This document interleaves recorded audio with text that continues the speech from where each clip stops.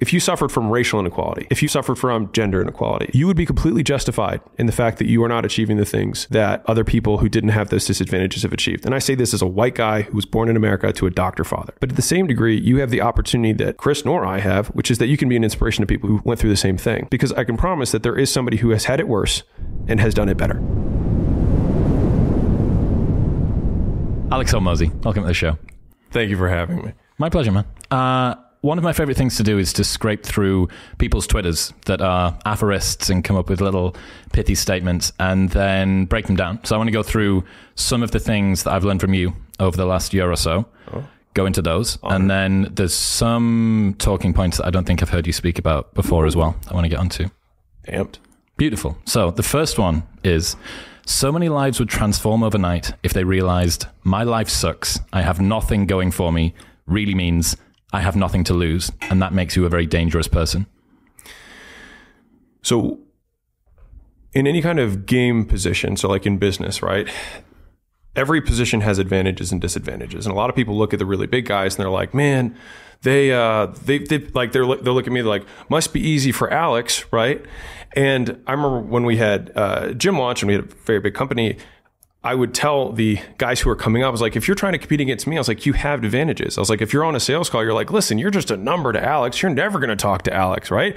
Here with me, you're going to get my attention. I'm the one, right? I was like, that's how you're going to throw stones at me. I was like, but on the flip side, if it's me marketing to the masses, I'm going to be like, this kid's in his mom's basement. He has no idea what he's doing. He's been in business for 12 months. And of course, he has no idea. Like, wouldn't you want somebody who has thousands of success stories behind it because we've made a system? Like, both sides have advantages. And so what happens is people are in this small position where they're more nimble, they can give more personalized attention to people, etc and they see it as a pure disadvantage.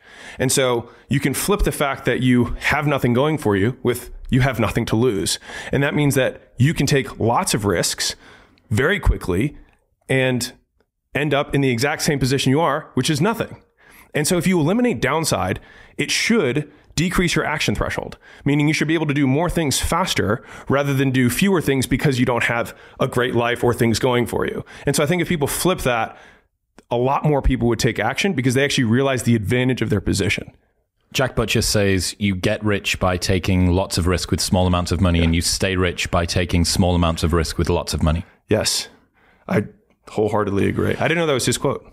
Uh, he may have repurposed it. There's, yeah. uh, there's, something called Churchillian drift. Do you know what that is? No. So it's a, a, a phenomenon. Churchill at the at the core. it's no, it, the opposite. It's that um, quotes that weren't said by Churchill often get like erroneously attributed to him. It's oh. like all quotes lead back to Churchill, yeah. even though they didn't. And Socrates. Yeah, it, it's like it's just one of those things. Where it's like I, th- I, th- I think that Churchill once said that yeah. you get rich by making large amounts. It's like no, he fucking. But there's another one as well uh, that a good friend James Smith talked about, which is if you're succeeding at a job that you hate, imagine how good you'd be at a job that you loved. Mm-hmm. And that's kind of the same. This person is starting from essentially zero. How much fucking worse can it get? Right. Is the downside. If you can eliminate someone's downside for action, it's like then the bias, it should bias you towards taking action. Why is it that people in that case, if they do have nothing to lose, still feel like they have lots to lose? Because I think most of the times, so this I think this is really important is that they have nothing objectively to lose. And so everything that they feel like they have to lose is purely made up in their mind. It's stories they tell themselves about what other people are going to think about them when those people aren't even thinking about them to begin with, right? But like that's where they live all of their lives or live out all of the potential downside is in the mere reflection of what other people will think about them in the future should they fail. Mm. And I think that is the like if we were if we were trying to get real and I'm like talking to somebody like, well, I I mean because I know that they, if I actually had somebody in front of me, they'd start squirming, right? If I said the first thing, right? Like you have nothing to lose, and then because then they do have something to lose, and I just have to name it for them and be like, okay, who's the person in your mind? Who's the voice? It's like blah blah blah. Six questions deep. It's my uncle. Okay, why? Like let me state it this way: Will your belief that you're going to be viewed as a failure by your uncle be the sole reason that you live the rest of your life below your potential and regret everything that you don't do because of Uncle Tom. That's the wrong one. Uncle Harry. when you say it like that, all of a sudden they're like, I don't want to let Uncle Harry have that kind of power. And then all of a sudden it breaks and then they like get free of it. And so I think it's getting really specific and really narrow on the, because people say it's society, it's other people. It's like, it's usually one or two voices. And if you can get really specific on whose voice it is, then you can name it. And then like, I think I'm a big believer in like shame only exists in the shadows, which is like once you put it in the light, you look at it and you're like, my mom? that was really it. Like when I really think about it, it's because it's not even just my mom, it's my mom in this circumstance. When I come back home for Thanksgiving. I just am so afraid of the comment that she's going to make. It's like, well, what if we confront that? Okay, your mom, you sit down at Thanksgiving dinner and you haven't made money yet and you quit your job. Now what? Is that better than you spending the next 60 years hating her or resenting her for the fact that she held you back? And then it's like when you give the real scenario, they're like, well, shit. And then like this weight comes off and they're like, fuck, I guess I should do this. And you're like, yeah. Shame only exists in the shadows is nice. Yeah. I like that. And it, it definitely is cleansing to just be like, look, here it is out in front of you. Yeah. And it real, you realize just how irrational it is. Because we don't want to look at it. Yeah. Because it's in the shadow. And we put it in the shadows because of how it makes us feel about ourselves, in my opinion. Mm. And so it's it's so scary, we avoid it. We avoid it, we avoid it, avoid it. But it's like, I think the faster you can kind of build that muscle of like, huh, I've got this hesitation. What is the real reason? Because like logically, you, I can do that whole thing. Cool. You have nothing to lose. You're poor. Great. Zero. right. Okay. But then what is it that I'm, that I do have something to lose? It's relational capital. It's status within my tiny micro community that doesn't matter, but like my perceived status. Okay. Name the names. And, but, but by pulling it out from the shadows, it all, but like that confrontation from here to here is, I think, where all the fear is because it's embarrassing to be like, it's my mom. The other perfect thing or great realization, I think, for anybody that's starting out and is feeling self conscious about what other people are going to think is when you're starting out by design, there are so few people looking at you that even if you do fail, no one fucking sees, right? So, this is something we realized when we were running nightclubs that we would try and launch a new event around Freshers Week in September. Yeah. And we would, we would have this great idea and it would be everything would be about flamingos or everything would be, it would be a smart night on a Tuesday so people could go out after they've been to sports club or whatever it was and then it would flop, right? And we do 150 people, and all of the guys that work for us would be stood outside looking destitute and upset. And they'd go, "Oh, it's you so embarrassing." The tables there, so it looks like there's more room. Oh, dude, or- we had so many tricks. We'd pump the pump the room full of smoke. We would pad the back off so that everyone had to go to the front. We get the DJ to play music, all sorts of shit. But all of the boys would be like, fuck, this makes us look so bad. Everyone's going to think that we're shit. I was like, no, no, no, no, no. Yeah. 150 people are going to think that we're shit. Yeah. Like the advantage of running a shit business that yeah. doesn't reach many people is that not many people saw your shit business. Yeah. And that's when you're starting out. People that are concerned about becoming a content creator. I, I'm worried about starting a podcast because what if everyone sees how shit my podcast is? It's like, dude, no one's going to see your shit podcast. it took me three year, three and a half years to get even an appreciable amount of people listening to this yeah. show. And it was effort three times a week. No one cares when you start. So you can be liberated from that as well. And it's just yeah. objection handling, objection handling, objection handling all the way down. I think a lot of, I think a couple frames that are just different frames around content making since we're on the topic um, that helped me was one is seeing it as practice rather than the game. So like when we're doing a podcast, if you start, you're like, hey, I'm going to do a podcast. I'm going to post. It. It's practice for me getting better for future me, rather than like I am like this is the main game. It's like no, the game is the whole thing, and this is just like we're still in preseason. Yep. Like these these these scores, these touchdowns don't even matter yet right? Now you can say yet, even though like I can still feel like I'm a preseason, but I think from a mental framework, it actually decreases the stakes associated with doing it. And I think that's been helpful for me, especially it was in the earlier days. The other one was um, kind of the equal opposite of this problem, which is not wanting to start because no one's watching, because it feels like you're doing all this work. What's the point? What's the point? And so I actually, the little mental trick that I had was, um, one, I track lots of stuff. And the more ways you track, the more ways you can win. And so that's a little thing that I found out. So like if you track 100 stats, then you only need one of them to go up so you feel like you made some progress. So that's like an easy one. And the second thing around the tracking is that I would look at like the biggest possible number. So a lot of times you can see like the impressions of, you know, a post that you make. Even if you only got like 16 likes, I got like 100 impressions. And I thought to myself, I was like, well, if there was a, a room of 100 people, I'd be stoked like that would be awesome. Especially in the early days, I was like, that would be I would totally feel like that was worthwhile. And so taking those little impression numbers and pretending that they were like micro events that I was making the work or the content for, all of a sudden made it feel worth it for me. And so the combination of I can have a small room and I'm really impacting. Like when I get a view that has like 13 views on it, you know, for like a video in the early days, I'd be like, well, shoot, I made this video and 13 people saw it was like a small room. Like that works. But looking at both absolute growth and relative growth. So it's like, okay, well, I went from 10 followers this month to 15 followers this month. It's like, well, you can say that you only gained five followers. I was like, or you can say that you gained by, you went up by 50%. And that was exciting. And so then I, cause I'm a, a Excel projection guy, I was like, okay, well, if I do this every month and the team knows this, cause I, I project everything out. I'm like, if we do this, cause I, I'll predict where we're going to be in like 12 months and How we usually hit it. Very, Really? very. But how do you account for the unforeseen 5 million play video that comes in? Well, that's my padding. Right. So okay. we'll, we'll like I'll project out with no white swan events. Yep, yep, yep, you know yep. what I mean? Where something good happens. Yep. But it, just if we keep doing what we're currently doing at this trajectory, we compound at 13% a month. Yep. That's what it is right now.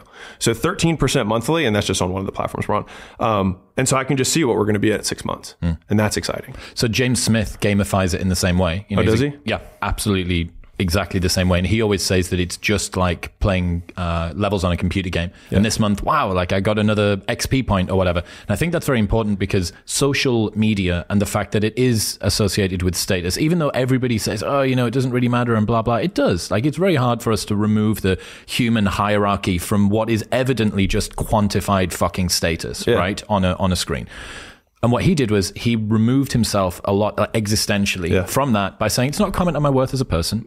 it's not a comment on whether I'm, you know, going to be loved or accepted by the world. It's me putting some stuff out. And wow, we won this month. Yeah. And this month, oh, maybe we didn't win. Why didn't we win? Or uh, go back. The same way as if someone beats you at FIFA, unless you're like a pro FIFA player or whatever. But again, with that, what's the difference between the, the amateur FIFA player and the pro FIFA player? The pro has put his existential connection Right. to his content and the success of it, There's of. so many little things on this that I want to go into. One of them is that so Dr. Kashi is my closest friend. He's like a behavioral whatever, loves studying why humans do things. Um, and so people who are most successful, a lot of times, what they're it's not that they necessarily have more willpower. They find ways to they find other ways to reward themselves. And so he's like, the more skills you have, the more ways you have to reward yourself.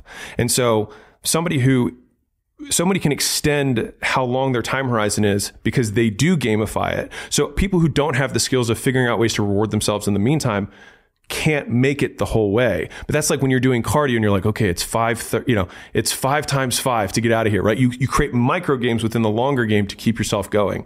And the thing is, I've seen that across, uh, verticals. So like if you look at uh, so Travis Mash is a Olympic lifter, Olymp- Olympic lifting coach um, out of North Carolina, and he has this really cool way of getting lifters to PR every workout, to have a personal record every workout.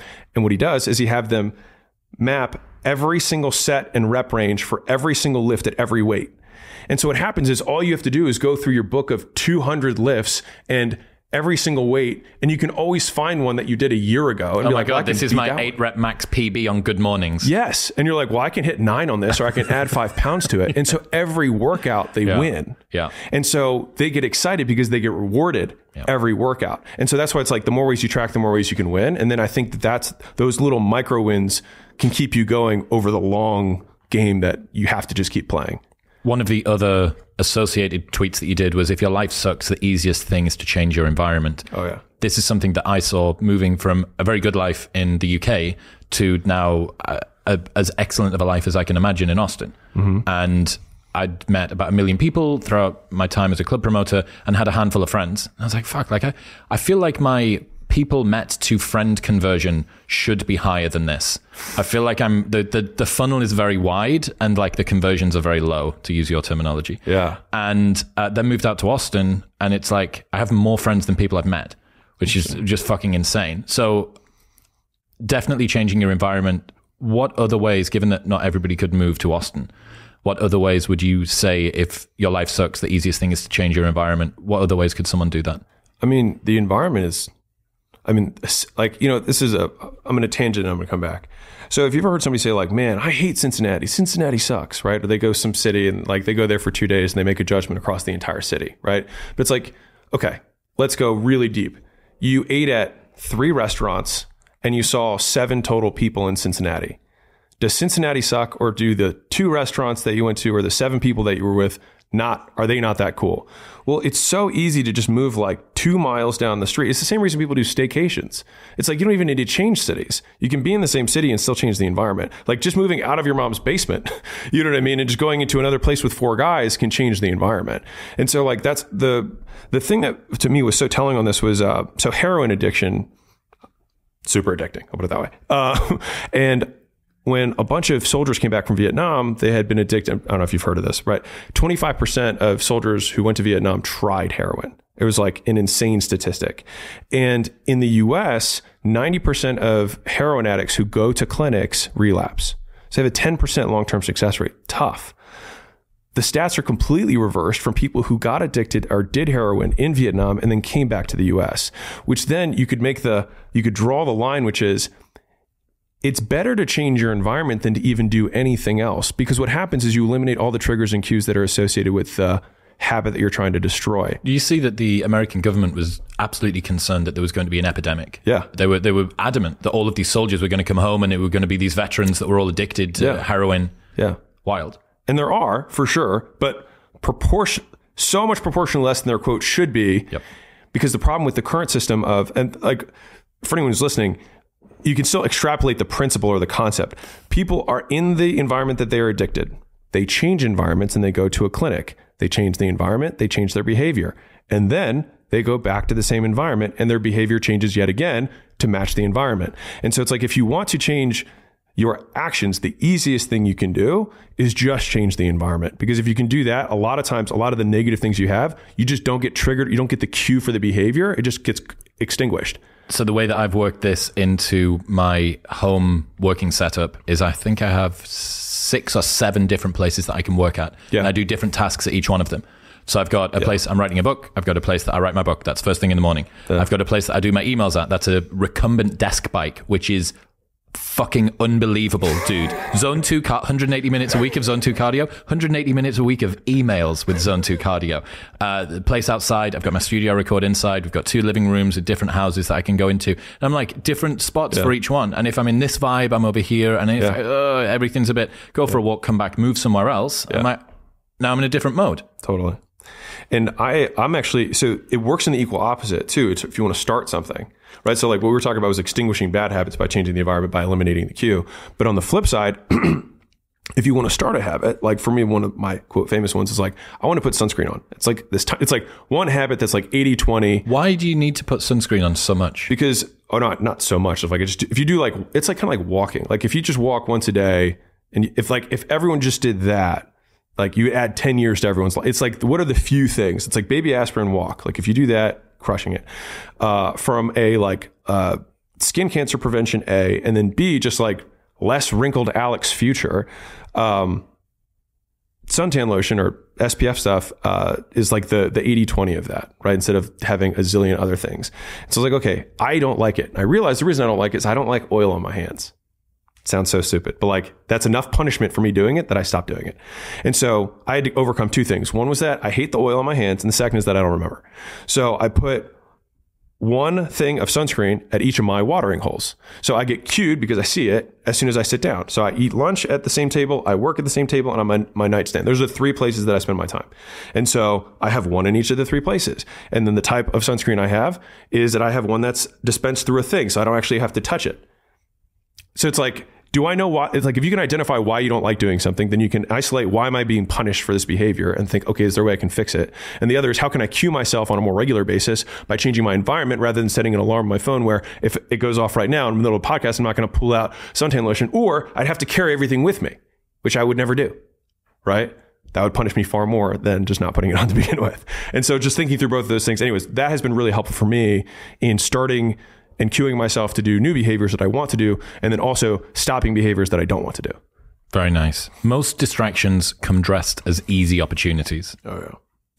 This is interesting because as people begin to accumulate the success that they say that they want, this becomes an increasingly big problem. Yeah. Um, I think it was Andy Grove who said this. Probably Churchill. Um, Yes, there we are. Chalk another one up for Winston. it might have been Packard. I think it might actually been Hewlett Packard. It might be one, one of those guys. Um, he said that businesses die of indigestion, not starvation.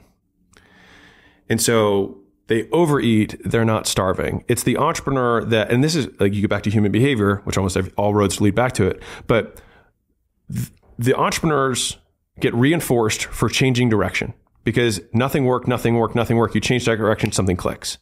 And so what happens is you learn a lesson from that. You're like, oh, so if I change direction, good things happen.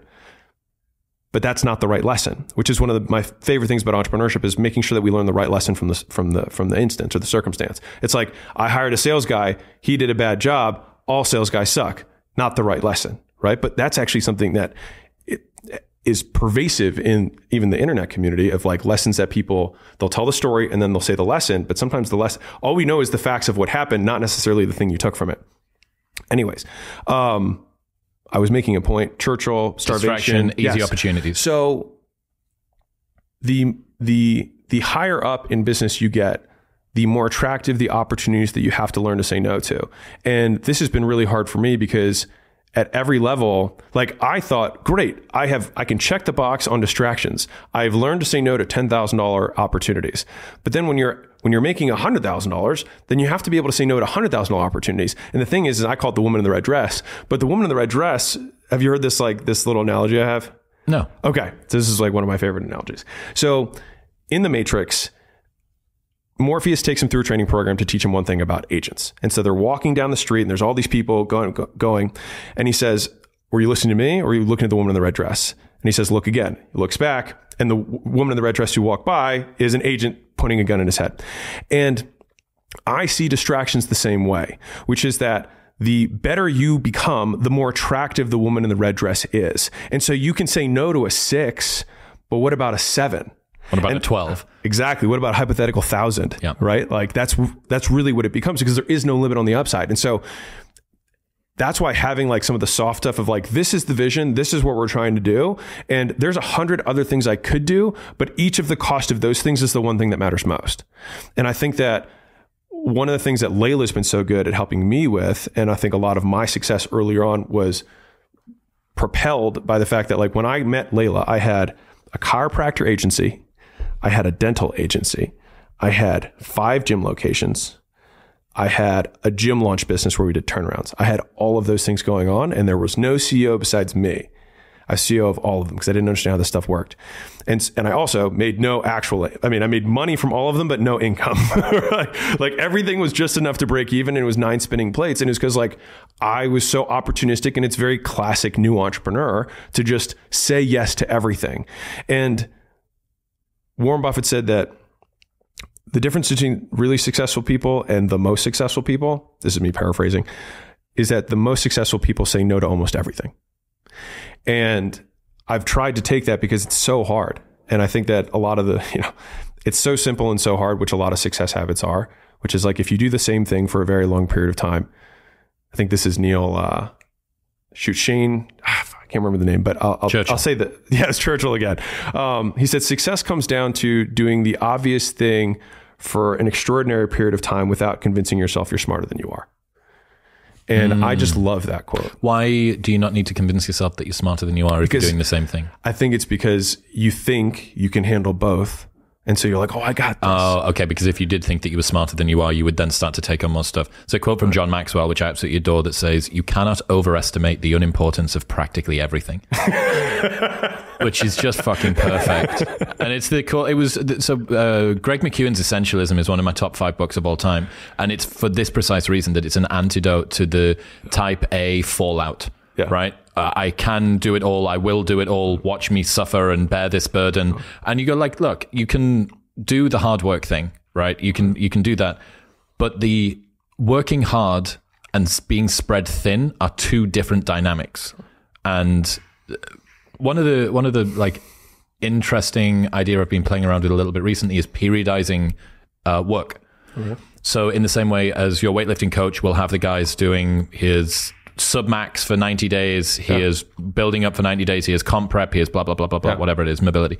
Um, that's a much easier way to um, blend what we're talking about here. It's maybe a little bit earlier. I think you need to specialize more as you get bigger and bigger because the distractions are going to be even greater. Special, how so? So if you are uh, the CEO of your company, and then someone comes in with you've got so much more downstream from you that if you get distracted, the repercussions, the ramifications of you becoming distracted are magnified even more. What do you think about that? Do you agree? I, I, I think the the specialist piece is the piece that threw me mm. because I always feel like the the higher up you go, the more generalist you become. In terms of skill set, but not in terms of projects or in terms of projects. Specialized in projects, generalized in skills. There we are. Yeah. Yes, I like that. We'll get back to talking to Alex in one second, but first I need to tell you about HubSpot. 28% of some people's weeks are spent reading, deleting, and sorting emails, which means that very much email is not dead. Starting an email newsletter means that you've got direct connection with your audience. It means that you actually own your audience. It is the only way that you can own them without going through a third party like a social media platform. And from HubSpot right now, you can download their free email template that will teach you how to make your own newsletter. You can learn how to build an amazing email newsletter from scratch. They will check out a compiled lookbook of awesome examples from real publications. You can learn what it takes to create a successful email newsletter with exceptional design, unique and compelling copy, clickable calls to action, an excellent user experience, and there is a step by step guide about how to get your newsletter launched. So if you've been thinking, I want to start doing a newsletter, this sounds cool, this sounds like uh, a good way for me to start writing, to build an audience that I can then sell to, or I can then move to other platforms as well, this is a fantastic place to begin. All that you need to do to download this free guide that will take you from no email newsletter to a fantastically designed email newsletter using industry inside information, all that you need to do is head to clickhubspot.com slash modern wisdom. That's clickhubspot.com slash modern wisdom to download your free email template today. The first step to achieving a massive dream is conquering tiny impulses. I think it's exactly what we were, what we were talking about earlier. It's like if you like, I I, I got a, there's a a tweet that I made. Actually, you you were the one who made it go viral, right? Uh, which was uh, What, when you quoted me quoting you, David Goggins. it's just this endless human centipede of fucking Hormozi quotes. It was really Churchill who said it first, It was Churchill. Thank you. um, but it's like you don't you don't uh, you don't build confidence by shouting affirmations in the mirror, but by stacking. uh, By Having an undeniable stack of proof that you are who you say you are. Thank you. That's Outwork your self doubt. Thank you. There. I'll quote you to you, which is a new a new low so, so that right. Yeah. um, a lot of people were like, no, but what if you don't have any successes? Like, how do you get started?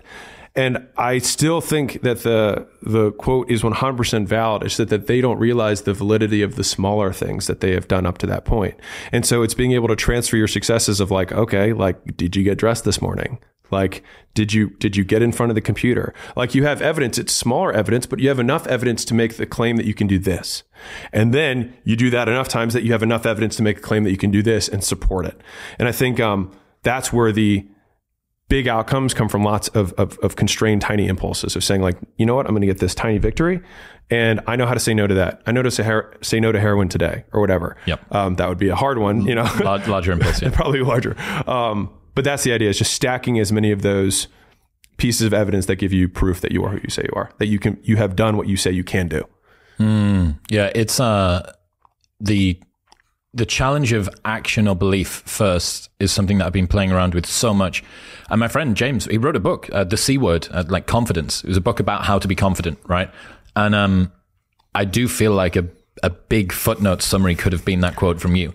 Proof. Uh, and the problem is, this is something that I've seen as well. A good example coming from a world where I was successful in business before I was successful personally. Mm-hmm. Um, I have a skill set now, and my capacity within this particular skill set and the performance of what that does are intrinsically linked. Right. There's almost a linear relationship. Mm-hmm. As I become better at networking with guests, with recording, with doing all of the other things, mm-hmm. the show increases when I ran a business, there were so many degrees of freedom between my inputs to the business and the success of the business that someone with uh, like malignant imposter syndrome could always explain away how things had gone well. So I would say, oh, it's because we timed the market right. Oh, it was because of like this member of staff that we brought in. I mean, I trained him, but really he would have been great without me or whatever. And um, self doubt can sort of wheedle its way in in very sort of nefarious ways when you do that. Um, then switching to something where you have a relatively undeniable stack of proof, even undeniable to the part of you that wants to deny proof, mm-hmm. right? Which is that imposter syndrome. Mm-hmm. After a little while, it's just a crushing weight that you, ca- I call it imposter adaptation. So, mm-hmm. you know, if you continue to disprove your imposter syndrome in the real world and it persists, you have to admit to yourself that it's got nothing to do with your capabilities and everything to do with your addiction to feeling like an imposter. Mm. This is just a trend of how you think about the world. You're looking for competent, you have competence without confidence, mm-hmm. which is a lack of belief. And confidence without competence is self delusion, right? So you need to have this balance between the two. But people, when they say, well, surely self belief becomes before action, I'm like, well, not particularly. Not if that's not your nature. I don't think, like, you're asking for delusion there. And it is significantly easier for you to think, I am a fitness person if you just went to the gym and did 10 push ups than I am a fitness person when I go to the gym tomorrow and do 10 push ups. Like, where's the show me, spit Yeah. and sawdust? Where's the fucking reality of this? You know? I agree. Good. opportunities only look like opportunities in the rearview mirror. Today they look like risk. How does someone get around this? This um, asymmetry between the fact that, in retrospect, it seemed totally obvious, and yet the thing that you're looking at right now, looking forward, you go, "Oh, that might not be obvious in retrospect. Again, It's tough because um, a lot of a lot of the big wins, you know, like like Uber's the classic example, right? Like let's start a business where strangers pick up girls who are 16, you know what I mean, and drive them to their friends' houses. Like that sounds like a terrible idea, right? Like it just it but in retrospect you're like, no, it'll be totally fine because there's going to be a mutual rating system and blah blah blah blah, right? Taking out the fact that there are people who've been captured and whatever. Anyway, what we'll put that to the side, right? Um, and the thing is, is like just because we're on the investing side, what we found is that there are always reasons to say no to a deal.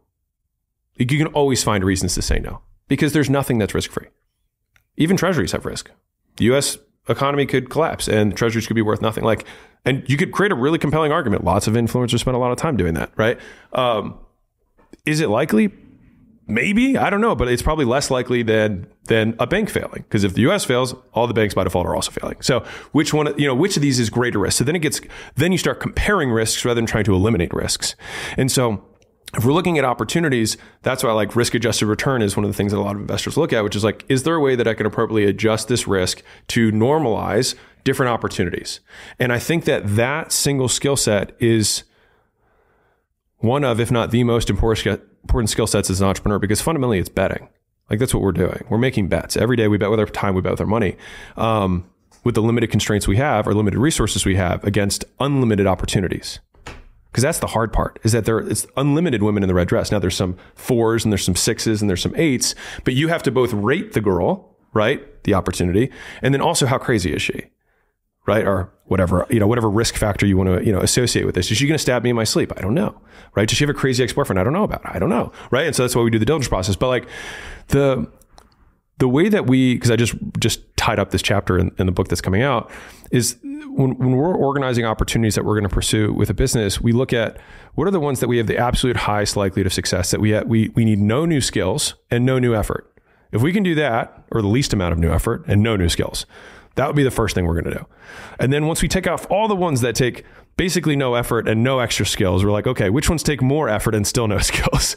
And then once we do that, then we're like, okay, now we can start learning a new skill. And of the different skills that we could learn, which of these is going to give us the highest leverage, as in most output for the least amount of input? And that's pretty much how we tick down which of these opportunities we want to pursue because those have the lowest likelihood of not happening. Does this work in the personal world as well? There's someone that isn't an investor, that isn't in business, that's just thinking about life opportunities. Do I want to learn to salsa dance or code?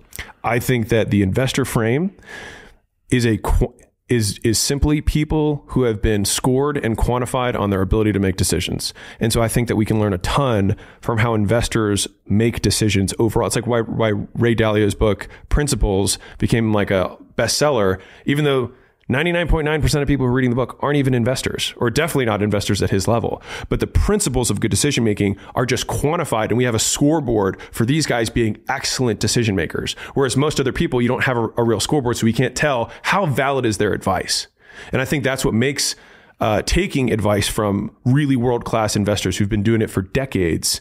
Um, as a great source of information because we can validate that they have a stack of undeniable proof that they are who they say they are. Very nice. Okay, so this was Like Churchill. not Churchill this time. so this was this is something that I've actually relied on a little bit myself. Uh, whenever I get to a low point where I think, why do I even bother? I just remind myself this is where most people stop, and this is why they don't win. And this relates to another one, which is a reminder for the gladiators in the arena who feel beat up and scarred with no hope in sight. Building a business is hard. Hard feels shitty. This is what hard feels like, and this is why most people can't do it, but you can. This is what hard feels like.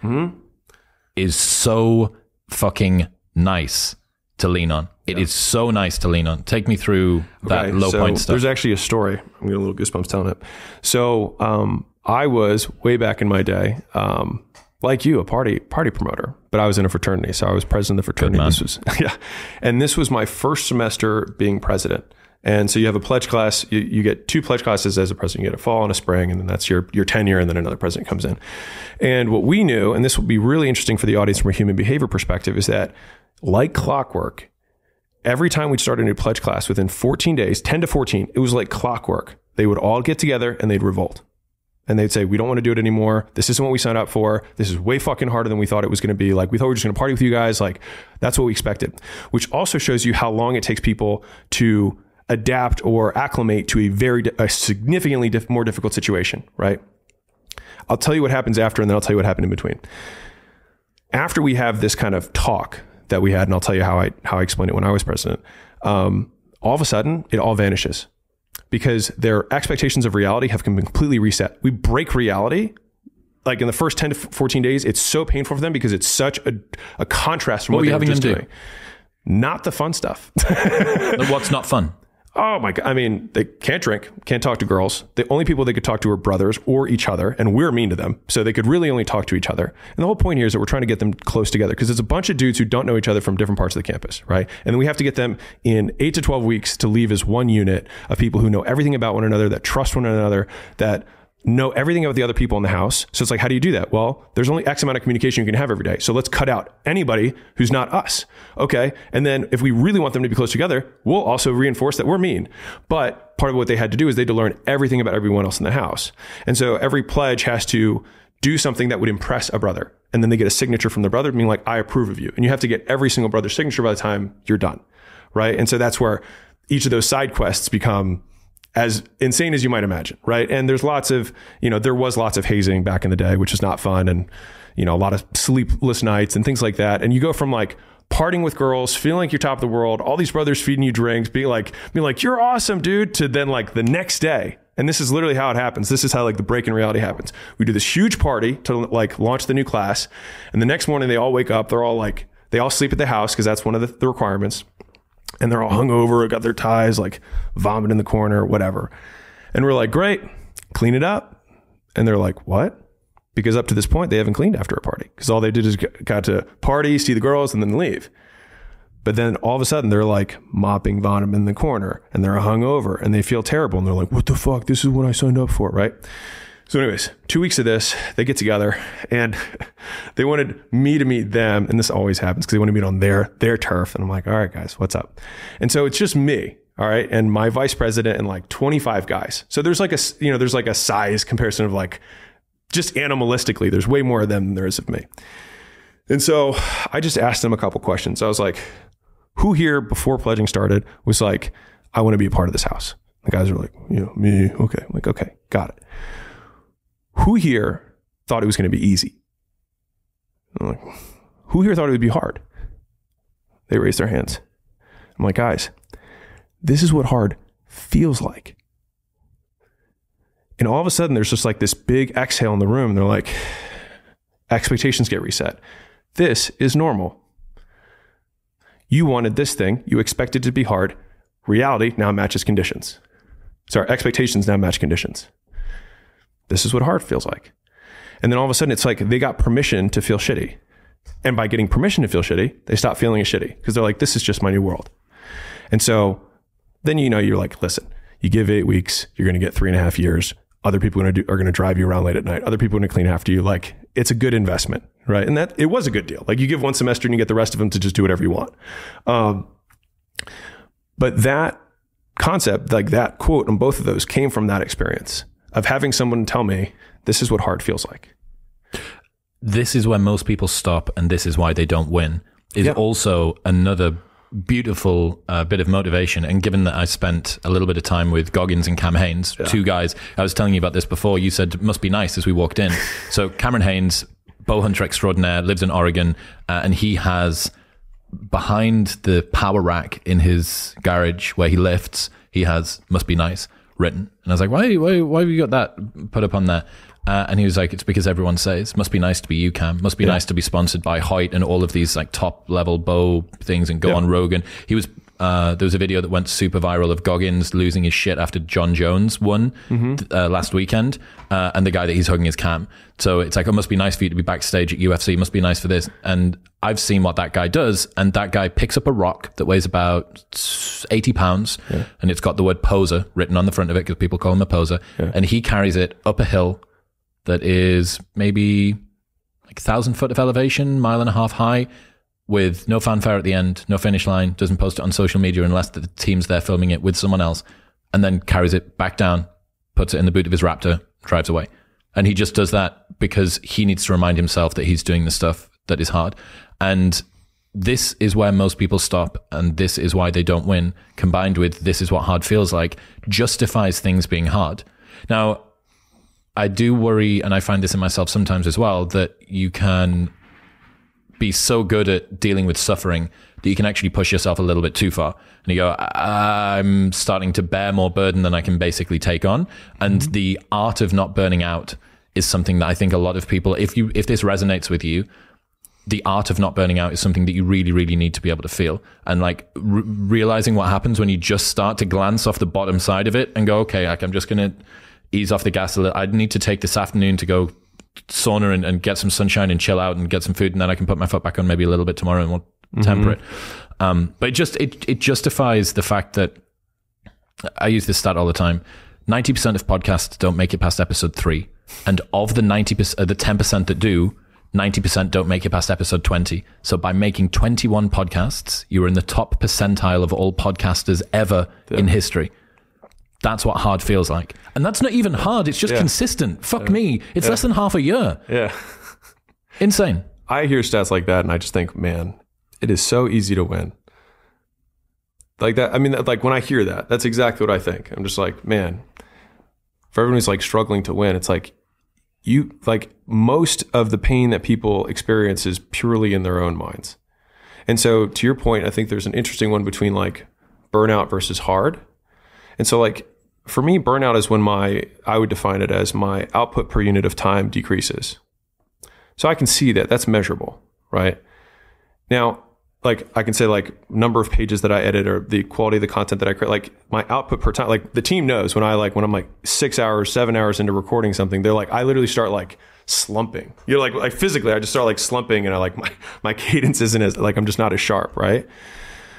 There's that versus emotional burnout, which I think people mislabel as burnout when really it's just like they don't know how to reframe reality. And so what it really is is they got a comment on a post that bugged them. And like again, it's like pulling it from the shadows. It's like, no, this stuff doesn't work. It's like, hold on. What's the one voice that actually is coming through? What is the real thing? Well, there was this comment. Okay, great. It's embarrassing to even have to say that. But when you say it, then you admit it, and all of a sudden you put it in the light, and the shame kind of starts to evaporate. Because then you can name it and be like, is this comment better than my bigger than my future? Is this comment bigger than me? And one of the things that I um that has helped me was saying like, what's true about this?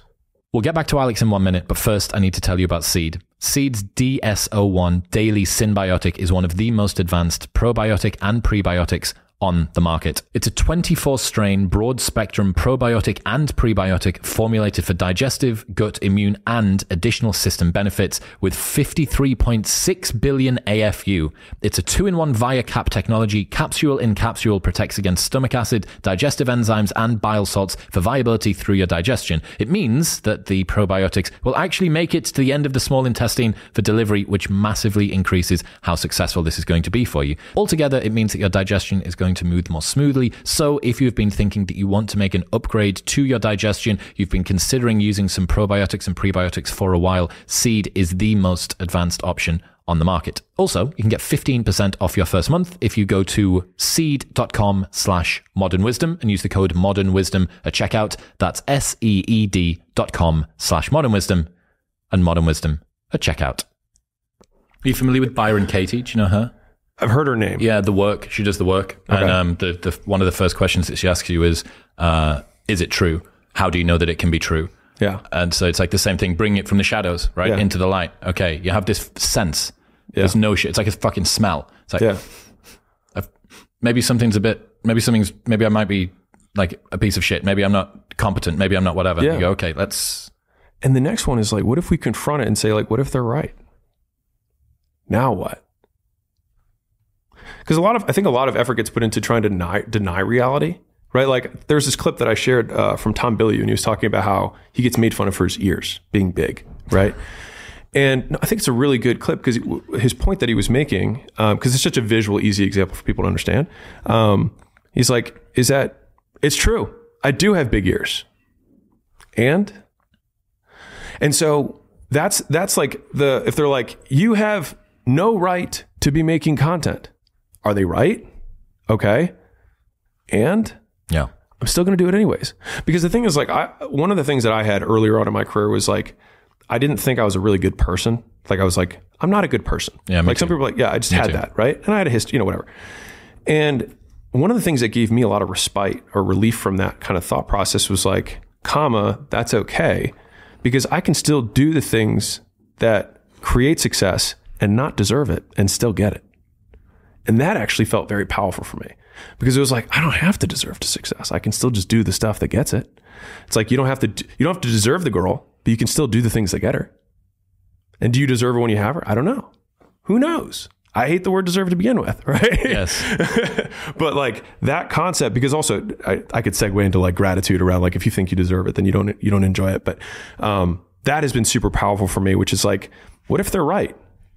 And because a lot of people are just trying to they spend so much effort trying to fight the fact that the comments might be right. This might have been a fucking terrible thumbnail. Yep. You know what? This might have been a boring video. This this post might have been regurgitated content. This post might have been inspired too closely by someone else's post, right? What if they're right? And Yeah. does it make me a piece of shit? What if it does? And You end up getting down to base, which is pretty much nothing. Like, Right. All that there is is actions. All that there is is what you're going to do in response to this. Yeah. You know what? Another brilliant uh, add addition to this that you kind of mentioned, Yeah. which is uh, the fact that this is what hard feels like. Most people get to this stage and they decide to stop, and now the bar is set so low. Goggins said this in the episode with me, and it gave me chills when he said it. He was like, "It's so easy to be successful nowadays because people are weak." yeah, Everybody's weak. Dana White says it as well. Yeah. I tell my kids it is so easy. If you are even a like weekend savage, you will run these kids over. And for every single person, it's giving me chills again. For every single person that likes to castigate the very padded victimhood mentality of the modern world. Okay, cool. Like you can you can rail against people that say that the world is against them, even though it's not, and etc. cetera, et cetera. How does that inform the way that you should operate in the world? right. Well, okay. What you're saying is everybody else is fallible, weak, fragile in some way or another. Yeah. How does that inform the way that you act?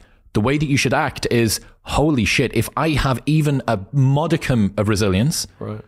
this makes the market environment for me so much easier. Whether I want to get the girl, buy the house, become successful in whatever domain I choose to, the bar is set so low. This, uh, if we're going, if we're going tweets, um, this segues into one of my favorite ones, which is, uh, you stay in poverty until you learn the first lesson of poverty, which is two words, my fault. And so when I was younger, I was really angry at my parents, like many people are, right? Justified or not, doesn't really matter. I was very angry and I blamed them for the woes of my life. And I realized when I was 19 that these people that I hated, I was giving all the power over the fact that I wasn't the person I wanted to be. And I was like, well, it's their fault.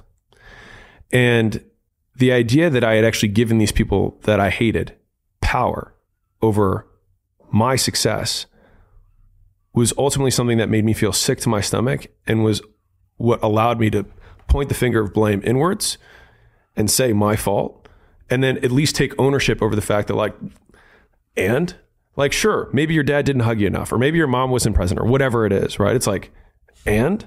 And like i said this the other day and it'll probably piss off a lot of your audience so you know we can put our soft earphones on. Um like if you were if you if you suffered from racial inequality if you suffered from gender inequality if you suffered from being born in bangladesh if you were race, uh, not racial, sexually abused your entire life you would be completely justified in the fact that you are not achieving the things that other people who didn't have those disadvantages have achieved and i say this as a white guy who was born in america to a doctor father i understand that but at the same degree you have the opportunity that Chris nor I have, which is that you can be an inspiration to people who just who went through the same thing and succeeded, comma, despite those circumstances. Because I can promise that there is somebody who has had it worse and has done it better. And I think that that one single point of proof, and like there's a global point of proof that you can look for for sure, but like you can be that very local point of proof in your community or sub community. And I think um, as soon as we shed that, that's like I just I'm a big fan of uh, power follows the blame finger. So like wherever you point the blame finger is where the power follows. And so it's like if you point it if you point it at the government, government has the power. If you point it at your your spouse and say like it's their fault that I'm I'm not in shape, it's their fault. They never let me do anything. It's like, well, you're giving them all the power. Hmm. And so it's like until you're like it's my fault, it also becomes it's my not your fault? responsibility. What is? What if it's not your fault? It doesn't matter. And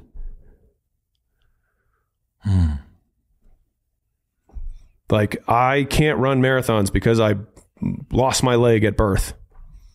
And either you can just never try or you put the metal thing on and you do it anyways. So this is one of the themes that I'm very interested in to do with your work in general, and it's one of the reasons why it bridges the gap from what we're going through, which are you know some really lovely hmm? philosophical insights and all of the rest of it. Yeah. The difference is you seem to have a knack to be able to drag yourself out of the philosophy and get yourself into action. There's not too much mental masturbation that goes on. So let's say that there's someone who's listening to this podcast, you know, thousands of people that are listening who are that person. Millions. Thousands of people that are that person. There'll be there'll be a lot of people that are listening. Don't worry. Don't worry. Um, that person that goes, I, f- I love when I hear these aphorisms and, and things, and maybe it goes on the whiteboard that's on the front of my fridge for a couple of months. How does that person get from mental masturbation Yeah. around it to action? That this this impacts my life in a tangible way that actually makes a difference to me. Any of the things that we go through today. All right. Two things. One is knowing the input output equation. The second is knowing what your fuel is going to be. So if you can't define the inputs and outputs that are going to get you what you want, then there's no way to start, right? Because you don't know what you're supposed to do. So you have to define it down to like the most basic first action. So it's like if I want to start creating content, then it means I have to post something. If it means I have to start doing cold, I always think in terms of business because that's what I'm in. But like I'm either doing a cold reach out, I'm doing a cold, cold call, cold email, cold DM, whatever that is. I have to make a piece of content. I have to post it. I have to make a podcast. I have to make a YouTube video. I have to make a short, whatever that is, make a blog post. Um, I have to run an ad. Right, I have to I have to run the ad. I have to press go. I have to spend the money. Whatever it is, like whatever that core initial action. Go is, to the gym, input. lift the weight, put the shoes on, get Yeah, in the car. Whatever the input is, you have to define what the input is that's going to get you the output you want. Now, once you know what that input output is, the next one is why aren't you doing it? Right? And so I think a lot of people are looking for something that is very hard to find. And so, and then they attribute their lack of success or lack of action because they don't have passion or motivation, right? And I was the same way. And so uh, the short story around this was that I, uh, I I watched all the TED talks in college. Like that was like what I, I was like. I'm not watching YouTube. I'm watching TED talks. And I was like, and then I realized, and then I heard the term mental masturbation, and I was like, oh, that's definitely what I'm doing. Uh, I was like, my life hasn't changed at all. And then I got my job, so out of college, and I would read all the self help books. I read like every night. That's all I did. I just read all these self help books, and I found one of them that said there are people who are entrepreneurs and wantrepreneurs. And I remember hearing that word wantrepreneur, and I was like, it made me feel sad. I was like, I don't want to be fucking wantrepreneur. I was like, I'm not some bitch. Like, but like, but I, but I was like, but what if they're right? I am a wantrepreneur. I'm not an entrepreneur. I want to be one, and I'm not. And from that point, it took me six months to quit my job to actually decide to do the entrepreneurial thing. And the thing, there are many things that contributed to me being able to leave. And I think a lot of it's not like people are looking for one thing. It might be a big bag of whys, a lot of them, right? That add up together to be above your action threshold. And I think in the early days, people are looking for the big carrot. They want the big vision. They want the big passion, but they don't have it. But I want to, I'll give you the first rule of entrepreneurship that I have learned, which is use what you have. And a lot more people have pain. A lot more people have anger. A lot more people have shame. And if you can use that as your gas in the beginning, you'll eventually get to a point where you can get out of that loop and then find something that you are really passionate about. But if you can't tie your shoes, you can't lift the weight, you can't send the DM, then you have to start with whatever you have. And so for me, it was hatred of my current existence. I hated being a wantrepreneur. I hated being a wannabe. I hated being one of those people who like talked about all the things they were going to do and didn't do anything. Um, I hated living the life that my dad wanted me to live. I was I was his bitch. That's what it was. I was his bitch. I was living his dreams out, not mine. And that was, you know, led to that other tweet, which was um, sometimes your parents' dreams have to die in order for yours to live. And for me, I realized that the idea that my father had of me as his son, that image had to die in order for the image of myself that I wanted to be to live. Because I kept trying to quit my job and go be an entrepreneur. And every time I'd have the conversation, be like, ah, come over, we'll talk about it, we'll have dinner, you know what? And he'd always talk me off the ledge. It was always over and over again. Good salesman. Yeah. And, or great authoritarian. Uh, you don't need to persuade when you have compliance. Um, and so, uh, and so everybody has that person, or or it, it, might actually be somebody who's talking you off the ledge, um, or it might just be a voice in your head. It doesn't really matter because that that voice in person that only happened once or twice probably keeps talking to you when you're at home. Mm. Um, but the big thing for me when I when I decided to make the jump, and mind you, I was such a bitch about it that I, I had to drive across the country before I called him to tell him that I'd left. Yeah, I remember. Like story. I didn't want to. Yeah, I didn't want to confront him, um, which he then like flew off the handle about.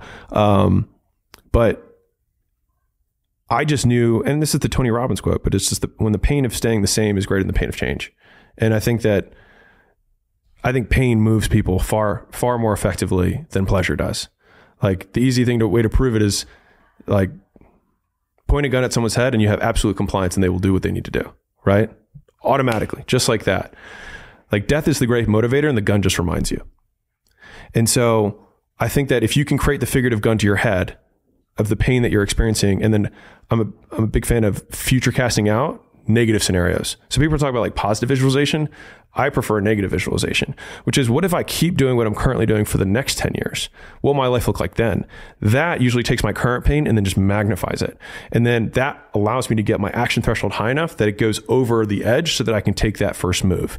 And so if you know what the inputs outputs are of what you need to do, the guy who has the little quote on his wall, and you figure out whatever fuel you've got, not the one you wish you had, but the one you've got, and you use that to do the first input, you've crossed the line. You're in the game. I told a story on the episode that I did with Goggins about uh, bullying in school, Yeah. and this was something where I like opened up about a topic that I haven't spoken about a ton because it made me feel weak and it made me feel vulnerable and so on and so forth. But one of the things that's only really recently happened, and it's actually been assisted by the guy that reached out and messaged me. This dude messaged and, and said that he was sorry for what had happened. His daughter was going to school, and it reflect made him reflect on his time um, at, at school and how he treated me. And he was like, "Dude, I just wanted to say that I'm sorry. I don't even know if you're going to see this. I'm happy that you seem to be happy, but you know, I, I just had to get it off my chest." And that really helped. Not that I was carrying much, Yeah. but one of the questions, you know, you've spoken about your dad and this kind of like authoritarian relationship and, and, and living out that dream.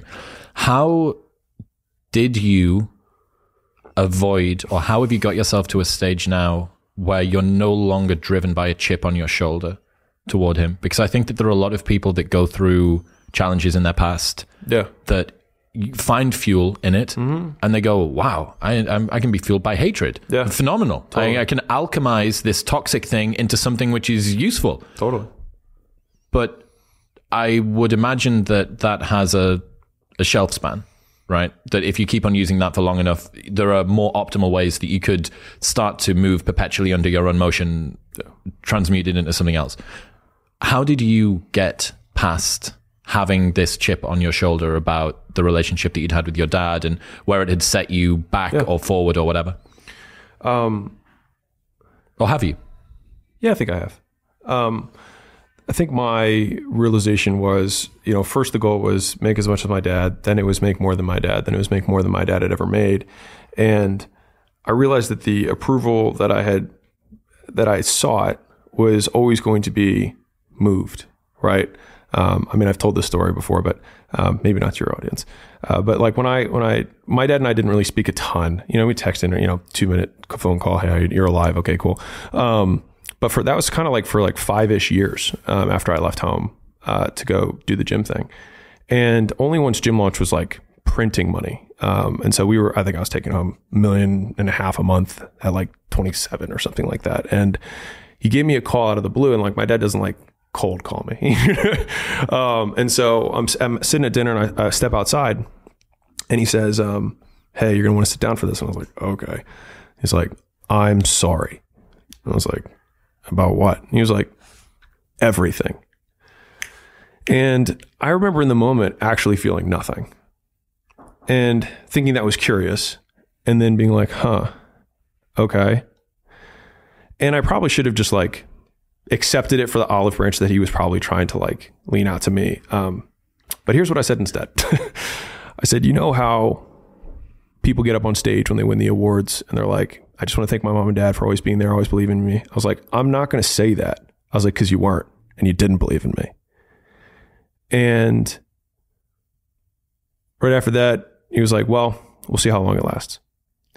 And so it was after that phone call that I realized that everything that I'd done to that point was to try and beat him at his game. Because everything my dad cared about, and not everything, he's a good guy. Like, you know, we're fine now. But like, when I was growing up, and it's fairly common in most foreign families to be very like money driven. And I always knew that kind of subconsciously. And he would never say this, but like I felt it because whenever he introduced somebody, he'd tell me how much they made immediately. He'd be like, "This is John. John makes this.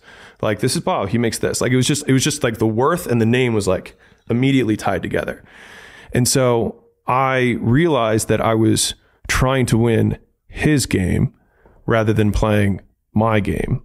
And I think when that happened, it was the same instance of kind of like the blame finger but just at a different level of saying like, okay, well, I don't blame my dad anymore, but I'm still playing his game. And so I'm winning not my game, I'm winning someone else's. And so I think when I was like, okay, well, then I have to define the game and the meaning of the game that I want to play. I have more responsibility now because I have to define the rules of what matters most to me, et cetera. Um, but that was where I feel like I got, and maybe there's more that I'll unpack later, but that was kind of the next level, at least for my awareness of how I perceived what I was going after. Do you remember you? I think you spoke about people that break the law in an attempt to make money. Uh-huh. And you said uh, we sacrifice the thing we want for the thing that's supposed to get it. So we sacrifice uh, freedom for money in the hopes that the money will give us freedom. Yeah. Downstream from that, this is one of the best things that I learned for all of last year. And you created the framework and then I filled it in. So I talked about the tension between uh, success and a desire to feel like we're enough. Mm-hmm. I think that this speaks to what you're on about here. Success is a strange thing. Presumably, we want success because we think a more successful life will bring us more happiness, meaning, and fulfillment.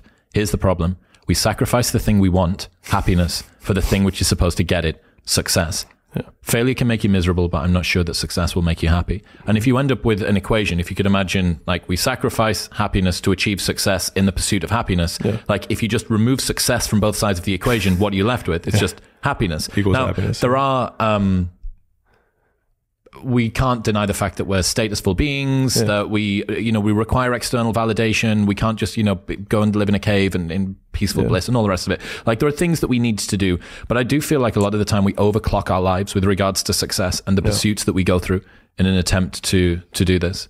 And that, uh, we sacrifice the thing we want for the thing which is supposed to get it is like, I see that all the time. I always ask myself, am I overcomplicating this? Like, am I, am I doing more than I need to do? Is there a simpler way to do this? Mm-hmm. I think, um, I mean, I think this is a actually a, a game theory thing. Um, and you're familiar. Okay, so I can I can I can go on it or I can not if you want. Okay. Bring it on. Bring it on. Yeah. So I mean, Simon Sinek popularized this, but you have finite and infinite games, right? Finite games where you have known known players, agreed upon rules, um, and an outcome that that wins the game, right? Uh, and then infinite game, you have known and unknown players, no rules, and the point of the game is to keep the game going. And what happens is that people apply finite rules to infinite games, and then they wonder why it's not working. What's an example? So a finite game would be like baseball. Know the players. At the end of the game, the person you tally up the ones with the most runs, and you win. And there's you can't you can't run you can't hold the ball and run it around the bases. Like there's rules of play. With an infinite game, the Vietnam War isn't a simple example that Simon Sinek gives, which is basically the U.S. lost the Vietnam War because they were they were applying a finite structure, which is we're going to win this war, and the Vietnamese people were were playing an infinite game structure, which is we're going to stay alive and keep fighting. And as long as someone is staying alive and keeping fighting, they will beat the person who's trying to end something. And so the infinite frame always conquers the finite. And the thing is, is that most of the games worth playing are infinite. And so if you were trying to get in shape, you don't win getting in shape. The point is to stay in shape for the rest of your life. You don't win at marriage. The point is to stay married. You don't win at business. The point is to stay in business and keep doing business. So the point of the game is to keep playing. And I think if if the six and I would imagine success, if you put all of those things together, it's an infinite game. And so the point of success is to do the things that make you successful. And so if you're doing the things that are making you successful, then you are by definition winning. And I think that for me, redefining what is a perfect day and living as many of those days in a row as I possibly can, to me, that's winning. And I, and I obviously have a relatively contrarian worldview, but which- which is that like when we die, nothing happens. And, you know, we know what it was like uh, to die because we've all been dead before, which is when we were, before we were alive. Um, but I don't think that what I will do will ultimately matter in 500 million years. And so that kind of eliminates a lot of the pressure for me around like the external outcome. Sure, I'm human. There are definitely motivators. But if I can just over time chip away at how much that weighs on the scale and I can keep putting more and more coins on the other side towards the infinite game of like the point of the game is to keep playing. And like there are some things that I remind myself over and over again. It's like the point of the game is to keep playing. That's the point. That is the point, is to just keep playing. The point of the game is to keep playing. I very much like that. What was that? You found out um, the three trait, the three most common traits of highly successful people. Do you remember those? Yeah, it was. Um, it's it's so funny. A superiority complex. So the three most common traits of hyper successful people that they looked at, and it was interesting because there's the influencer world wants to be like you have to wake up at five or you have to do cold plunges or whatever the fuck, right? But the thing that, the, but there was actually very few that they all had in common. So number one was that they had a superiority complex. They thought they were better than other people and that they deserved more. The second is that they suffered from massive insecurity and feeling that they would never be enough.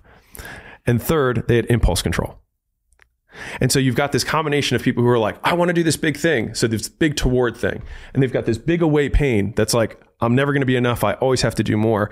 And then they have impulse control that keeps them focused on the goal without seeing the woman in the red dress or getting pursued by her. And that, like, so it's like shoot high, have a big thing that, that motivate, like have a big tiger behind you and stay on the path. Have you ever heard uh, Jordan Peterson talk about that study of starving rats in a tube with a spring attached to their tail? No. Fucking brilliant. This is this is what you're talking about.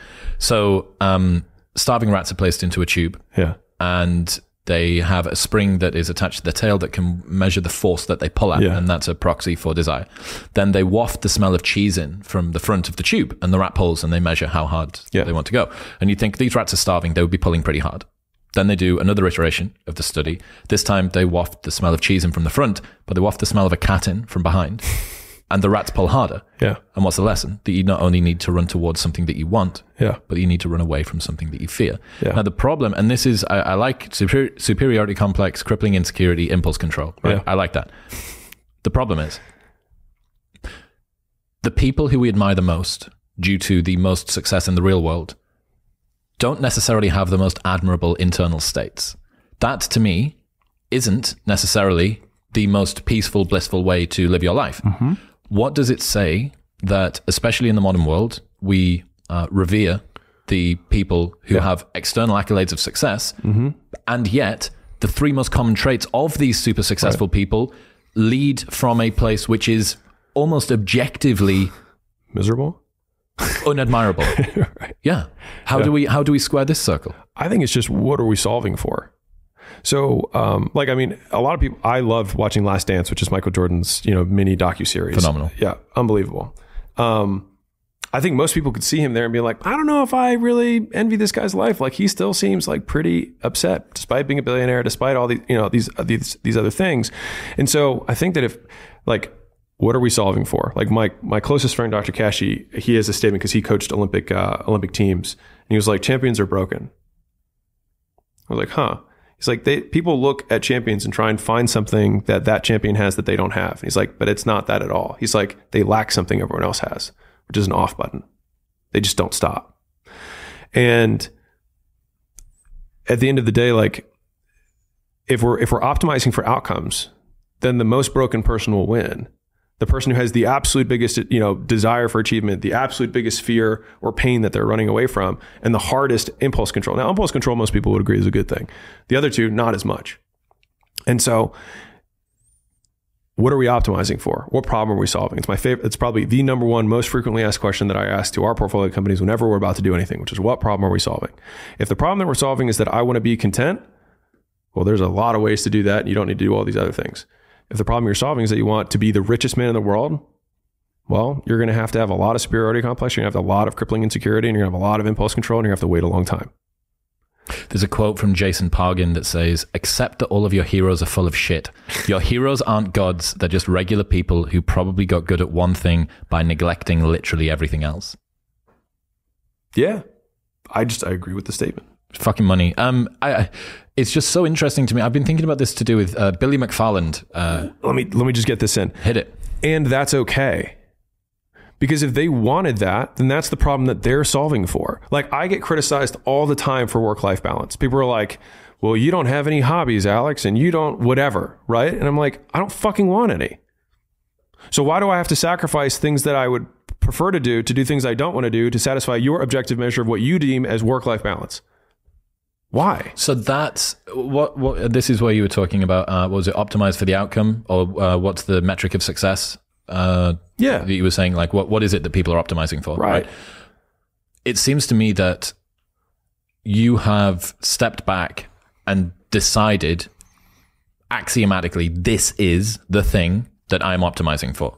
That I enjoy most doing. Yes. That's I enjoy playing the game, and so everything I do is about the game. Yes. My podcast is called The Game. I draw pictures all day about business. I write books about business. I make content about business. I spend the rest of my draw? time. I've never seen a picture. Oh, dude, hundred million offers, zillion pictures in there. Oh, yeah. are they done by you? hundred percent. All of the drawings are mine. And hundred million leads has like hundred doodles in it. Yeah. Doesn't it? Oh, yeah. Are you any good? Are they nice? I think so. Are they got? Are they cute? Yeah. They got little animals in. Yeah. If they don't have animals in, I'm not. I'm not. I'm not going to look at them. Oh, there's there's little bag of money, big bag of money. Like that's how nice. Dead serious. Sweet. But no, but like, and and I spend the rest of my day doing business. Yeah. And so it's like, well, why don't you garden? Because well, I don't care. Here's the, other, here's the other thing, right? I, I, I always talk about this. Steffi Graf, um, they one of the greatest female tennis players of all time, and she gets tested when she's 10 years old, 11 years old, and she's in some tennis academy. And they gauge the players on two criteria. Uh-huh. They gauge them on desire to train uh, and skill set. Okay. And she was 10 out of 10 on both. Mm-hmm. So, okay, not only has she got the raw materials to make a phenomenal tennis player, but she'll outwork you, and to her, it won't even feel like work. That's fucking terrifying. Yeah. And that's why I do think for the people that look at yourself and say, uh, Alex is on a, a, road to burnout, it's because you are using your theory of mind about how you would feel if you had to work as much as you do. Yes. But okay, what is the thing that you can do longer than anybody else? And to them, it looks like work, and to you, it looks like play or feels like play. What would that be? Oh, well, for me, it would be uh, computer games or knitting or rock music or whatever yeah, it is. That. It's like, okay, so imagine if you just got to do that all day, yeah. but instead of it being rock music, it was fucking business. Yeah. Uh, someone commented the other day, um, was it you're sprinting on a treadmill? Uh, they were concerned that the pace that the show is going out at was going to cause me to burn out. And in retrospect, I'm, you know, in five years' time, I might go, fuck yeah, I was moving too quick. But I don't, th- I don't think that. Like, I work at the pace that I like to work at. And I also like to see where those limits are.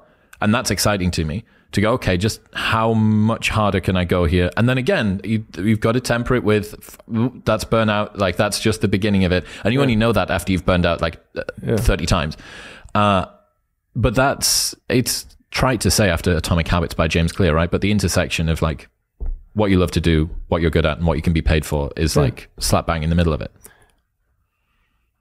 Slaves worked all the hours they were awake for their entire lives in American history, in Egyptian history, in the rest of the world that had slaves, which is most of the world at some, some given point. I think like if they can do it, so can I. Now you're like, well, did they have a happy existence? Well, they didn't get to pick the work they did, but it means that you can work. That's if you have the cap behind you. You can work every hour of the day. I'm like, well, if you get to have the cheese and you get to eat the cheese the whole way you're going, then I mean, there's the famous quote, uh, you know, the person who the person who loves walking walks further than the person who loves the destination, right? And so like I think it's the same thing, but the everyone so many people want to project their idea of of what they think your life should be like onto you. And it's just completely irrelevant. It just doesn't matter. Like if all I did if I if I weren't married, right? Cuz people are like, "Okay, well he is married and like I am in shape." But I also just like working out.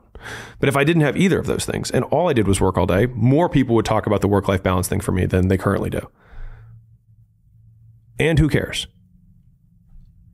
I just like, I just, I fundamentally am like, you are going to die and you're not going to matter. And I'm going to die and I'm not going to matter. So why do I care about what you're going to say when you're not even going to show up to my funeral?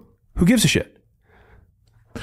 In other news, there has never been a better time to start an online side hustle, and Hostinger is making creating a website as easy as possible. If you're looking to start your own website or online shop but don't have the technical or design skills, you can look no further than Hostinger. With Hostinger, you can launch your own website or online shop in minutes and thrive online. For $2.99 a month, Hostinger provides an all in one website builder, domain, hosting, and professional email service. It's the most affordable option for getting your online hustle started, and it's ridiculously simple to use. With Hostinger, you can launch a WordPress website in just one click or use their drag and drop website builder. Plus, you can choose from over 150 beautiful and fully customized templates for e-commerce, blogs, portfolios, landing pages, and more. If you need a logo, Hostinger has got you covered with their AI logo maker powered by ChatGPT's API. You can create a logo in seconds and make your brand stand out. Head to hostinger.com slash modern wisdom for an extra 10% off if you use the code modern wisdom at checkout. That's H O S T I N G E R dot com slash modern wisdom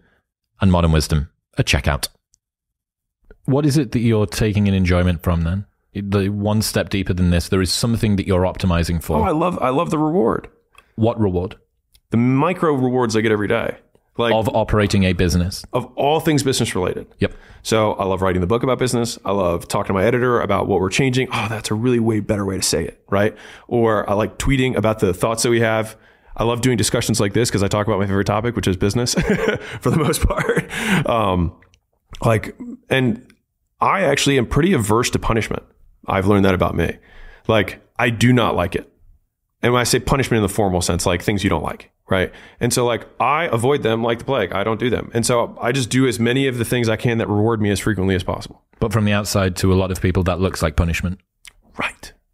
Yes. Interesting. How can someone uh, cut through societal expectations, the ways they've dealt with past trauma, expectations from parents, all of the things that aren't their thing? Yeah.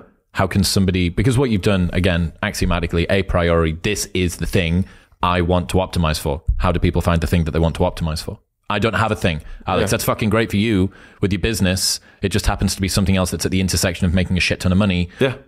How do I find And I was thing? lucky with Yes. that. Yes. That Yes. that just happened to be the intersection. Because if I love knitting and I didn't like business, Yes. that's a whole separate. Because like you can turn knitting into a business, but like Yep. if I only like knitting, then there's a way to make a living from that.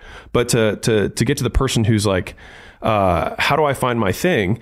Um, I'm a big fan of being directionally correct rather than absolutely correct. And so I think what happens is most people are trying to find the perfect answer when they have no perspective from which to make a judgment. They're trying to find the perfect thing to do when they haven't done anything. So how would you have perspective to make a judgment?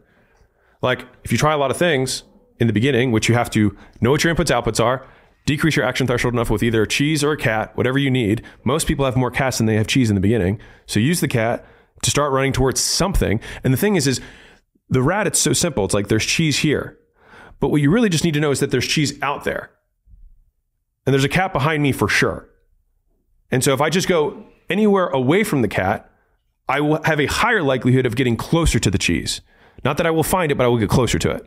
And I think it's, and I've lived my life through a series of rapid iterations, not trying to pick the right thing. Because I just like, even when I started my first business, I, I was between frozen yogurt, test prep, and a gym. Those are the three businesses that I was, I was choosing between Makes complete sense. Yeah. right? A lot of things that I like, right? You know? and so, so I was choosing between those things, and like, why were those the things? I was like, well, I was pretty good at taking tests in college, so I get that. I like frozen yogurt, and I, I mean, it sounds simple, but like, I was like, everybody likes something, right? And I actually didn't know that I was going to like business. That's the crazy thing. Because also, a when you and I were younger, Instagram wasn't there. YouTube, like none of this shit existed, and entrepreneurship wasn't cool yet. And so I just hated my job a lot, and I hated where I lived a lot. And so I was like, well, I will just not be here. So, cat. Don't know what city I'm going to go to, but just not this city. Yep. I went across the furthest place from Baltimore, which is California. And then I was like, okay, well, what do I hate doing? Well, let me not do that, which is you know, sitting on meetings all day and doing whatever, you know, doing grunt work for shit that I felt like was meaningless. And instead, I was like, I'll do fitness because I like fitness. And I was like, at the very least, I'll do something I enjoy, which I liked fitness at the time. And if you're like, well, I don't like doing anything, well, it's like, well, then that's impossible because your brain is wired to be rewarded for things. And so you are doing things that reward you. That's why you do them. Like everything we do is because we've been rewarded for doing things like that in the past. And we project the same activities and we predict that the, doing things like we did in the past that reward us reward us again in the future. That's where our behavior comes from. And so it's like, okay, well, what has rewarded you in the past? Where's the cat? Go the opposite way. Yeah. So uh, the reverse role model is something similar, but you're you're almost taking this into a lifestyle perspective. So the rever- reverse role model is if you live in a town or you grow up somewhere and there's no one around you like the sort of person that you want to be like, but there are tons of people like the person you don't want to be like. You can say, "There's a waymarker. I don't want his relationship with gambling. I don't want the way that he handles his finances. I don't want the way that him and his wife communicate with each other." It's like, okay, there we go. Warren Buffett or uh, Munger says uh, like an amazing amount of success has been achieved by not trying to be smart but avoiding being stupid. Uh, so there's your waymarkers there. But what you're saying is that this is almost like a, a, a, abstracted lifestyle version of this. These are all of the things that I hate to do. What's the opposite of that? Yeah. And the uh, challenge of I don't know precisely what the exact thing is, therefore I can't move toward it, is one of mine, which is perfectionism is procrastination masquerading as quality control. I was going to say it was, it's a it's a it's a fallacy it's a it's a decision making fallacy. It's the same. It's this is why investor frames can be so useful. Like if you're looking for the perfect investment, you won't find one. There's always downsides. Every every investment has risk, right? And so using that frame, you're like, well, there's all these paths. Which one do I choose? It's like, well, you have to, the one thing that's guaranteed is if you keep the money, it will go down in value because it'll inflate, right? So not investing is the only way guaranteed to not get a return on your investment. Is that a the fact that inflation exists, do you think that's a useful motivating force for business people? You know, you could imagine a, a, different form of uh, world economics where, you know, like embedded growth obligations weren't there and like whatever, you know, inflation didn't happen. Do you think that that sort of motivates people to actually be like, oh fuck, like I need to, I need to do something with this money. I can't just sit, sit and leave it in the bank. I think it would motivate investors. Yes. More, yeah. Yeah. But I mean, the, the business people would just like probably keep more coins in their, in their vault and just keep transacting. Who's that Scrooge like, McDuck? Yeah. They'd be less likely to, they'd be less likely to deploy capital faster. Because mm. if you feel like there's a cost of capital that's higher for keeping it, like letting it sit there, then you have a higher urgency to do something with it. If you have less urgency, then you only do it when you know it's going to crash. You gain nothing from underestimating your opponent. Mm-hmm. How does this relate to your world? So, a lot of the tweets that I have actually come from conversations I have with our portfolio CEOs. And so they'll say something, right? Um, and they're like, oh, we're way better than those guys. And I think somebody said like something like that on a meeting. And I just thought about it and I was like, what a stupid thing to say. I was like, you gain nothing from that statement. I was like, you literally gain, like, what do you gain from that? You gain complacency, right? You, you, incre- you increase the likelihood of looking stupid in the case that they do crush you, right? I was like, because on the flip side, like how many upset, like the only things that upset the guys who are on the top of the mountain is hubris. Like there's really no reason that the guy on the top of the mountain should ever lose. He has the most resources. He has the most, he has the, mo- the highest perspective. He has the most vision. Like he has everything. He has all the food at the top of the mountain. And yet history shows us humans act like humans. And so we lose because of our egos and because it, it hurts to say, what if that person's better than me? And so I think that if you, it, it actually is, is really uh, parallel with a, a different uh, tweet that, that kind of took off, which was people underestimate how much smarter you can seem if you have 20 minutes of preparation. Yeah. That, is, that's so fucking true. Right. Yeah, and so like people get into businesses and like, well, what if you actually had to face this team? People are like, well, I don't want to practice. It's like, why not? Like, why wouldn't you practice? Like, for a lot of fighters show up not having prep for the fight, not really hard. I'm like, what do you gain from that? Because if you practice really hard, you get better period. And like all it is is purely an ego play. The only the only win you get from not prepping and showing up to the fight is that you appear to be more naturally gifted and I would rather be known for my work ethic than my natural gift as an aside, but you appear to be more naturally gifted and then you win by less than you would if you prepared. You gain nothing. And so it's purely an ego thing, but you, you we do it all the time. And so I wanted to uh, like my my Twitter stream is just thoughts to self. I deleted it because I didn't have enough room in my profile to say it, but it was originally like notes to self. and it's just like to remind me of things as they come up because I fall into that trap too. I'm like, oh, I'm gonna, we're going to outperform this guy or like this company's going to crush it. I'm like, but we don't gain anything from that. It's like, so we just have to assume that we're always the underdog and then they've got a trick up their sleeve that we don't know about. It's like, that's the whole, the only the paranoid survive. Mm. A reverse of that, or something that's interesting to do with people at the top of the pyramid, is there's only one way I know to beat people who copy you get bigger. It's not by direct conflict, but by making them shrink into irrelevance by comparison. Mm-hmm. Agree. I just, yeah, so the, I mean, especially when it comes yeah. to content creation, I imagine that this is something that, totally. you, yeah, that you know, you see one thing that becomes effective, and then downstream from that, a lot of stuff happens. Yeah. And you know, if you've done the hard work of forging ahead, trailblazing, pathfinding, split testing, wow, we finally came up with this thing, and then within four weeks, you're like, oh, brilliant, this is all over the internet now.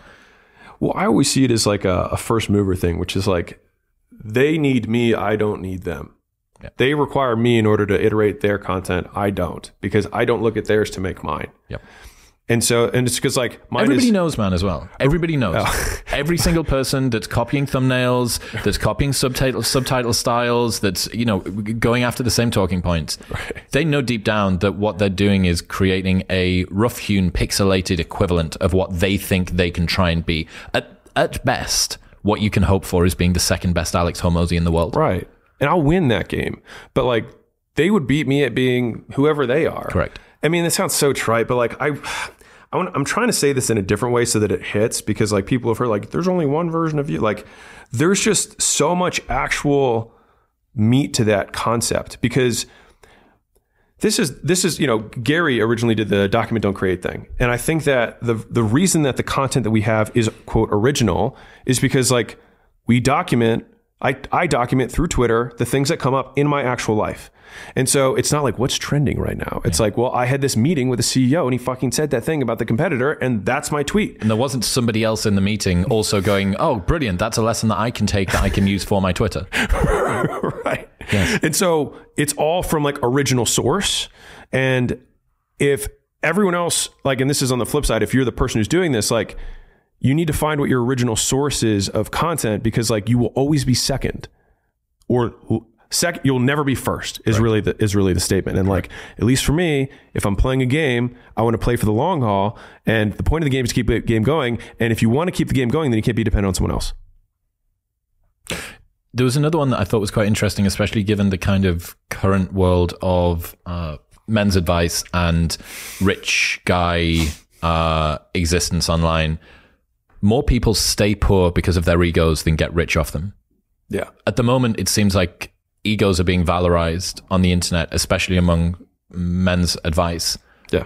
How is it that more people stay poor because of their egos and get rich off them? If there's a bunch of examples of people with seemingly big egos that also have money, I think that's um, what's the fallacy? Um, whatever the whatever the cognitive fallacy for what's in front of your eyes.